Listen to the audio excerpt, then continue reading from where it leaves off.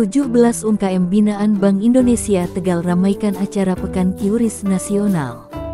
Puncak Pekan Kiuris Nasional yang berlangsung tiga hari di kota Tegal ditutup dengan gelaran beragam usaha mikro kecil menengah binaan kantor perwakilan Bank Indonesia Tegal. Para pelaku UMKM ini semuanya menyediakan layanan Kiuris sebagai opsi pembayaran. Hal itu disampaikan Marwadi pejabat setingkat Deputi Direktur Kantor Perwakilan Bank Indonesia saat acara penutupan Pekan Kiuris Nasional di sebuah pusat perbelanjaan di Kota Tegal. Marwadi menyebut saat ini jumlah merchant di wilayah Ekskarsidenan Pekalongan mencapai 355 ribu merchant atau meningkat sebesar 63 persen, sementara volume transaksi QRIS pada bulan Juni tahun 2023 mencapai 652 ribu transaksi meningkat dari jumlah pengguna. Menurutnya, Jumlah pengguna QRIS dari waktu ke waktu wilayah Jawa Tengah khususnya di Ekskarsidenan Pekalongan terus meningkat saat ini tercatat 4,1 juta pengguna baru QRIS atau meningkat 120 persen.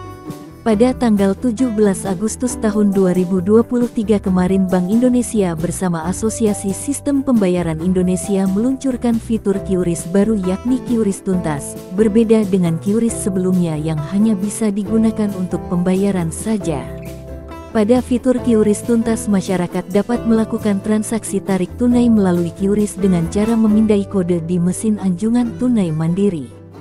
Menurutnya, Selain itu pengguna juga dapat menarik dana melalui merchant yang bertindak sebagai agen atau mitra tarik tunai.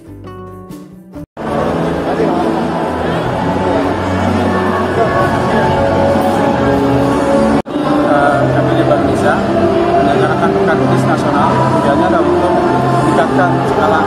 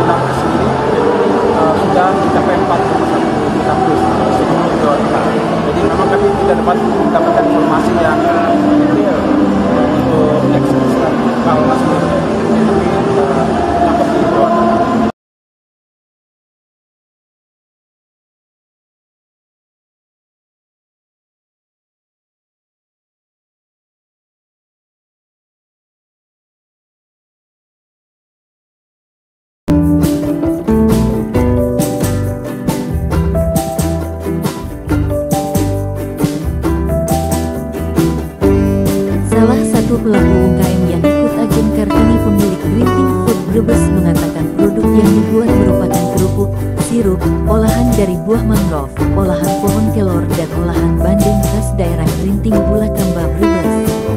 Ajeng mengaku sudah merintis sejak 2017 untuk produk ini kesempatan untuk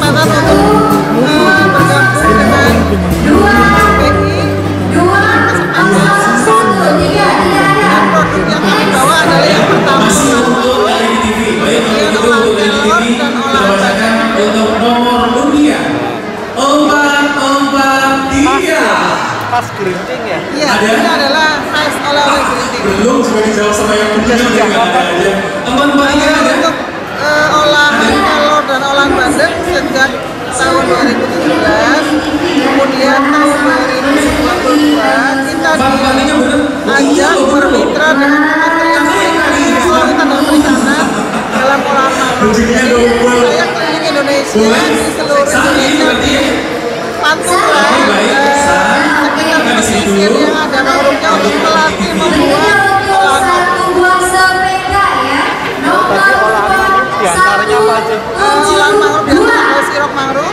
kemudian keripik mangrove, kopi mangrove.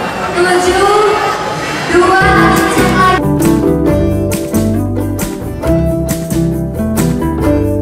Fitur QRIS tunai, masyarakat juga dapat melakukan transfer dana antar pengguna QRIS. Layanan QRIS tuntas sendiri akan mulai dimanfaatkan masyarakat mulai tanggal 1 September tahun 2023 mendatang.